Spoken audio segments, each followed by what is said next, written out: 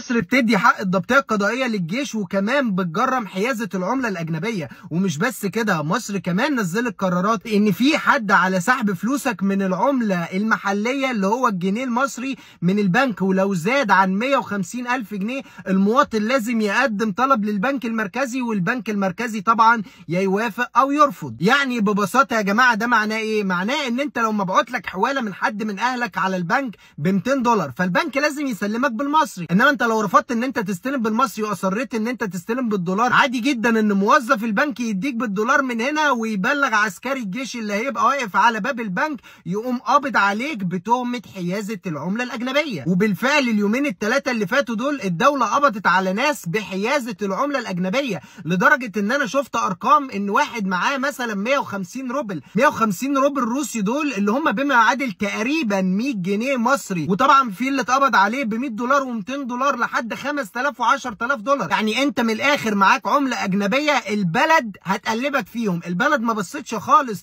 للكام مليون اللي كانوا متهربين على طيارة زامبيا. البلد ما بصتش خالص للكام كيلو ذهب اللي برضه اتهربوا على طيارة زامبيا. البلد ما بتبصش خالص للدولارات اللي بتروح لرجال الأعمال وموظفين الدولة والبلطجية كمان اللي شغالين مع الدولة. وأظن أنتوا عارفين أنا أقصد مين كويس. البلد ما بتبصش للناس دي وما بتبصش أساسا. هم جايبين دولاراتهم منين ولا مخبيين فلوسهم فين؟ إنما البلد بتبص للست الغلبانة اللي جوزها متغرب عنها هي وعيالها بقاله أزيد من 10 ولا 15 سنة علشان بس يقدر يأكلهم ويشربهم ويعلمهم ويوم ما يجي يبعت لها فلوس هيبقى قدامها حل من الاثنين يا إما تحول الفلوس من البنك بالسعر الفستك اللي هم حاطينه أو إن هي تستلم الفلوس بالدولار وساعتها الدولة ليها الحق إن هي تقبض عليها ويتعمل لها قضية وكمان ياخدوا منها الفلوس. لما قلت في الفيديوهات اللي فاتت إن اقتصاد مصر اتدمر والحكومة ما قدامهاش حل دلوقتي غير إن هي تبص على اللي في جيوب الناس. الناس طلعت هاجمتني شرفاء الوطن أكيد أنتوا عارفينهم.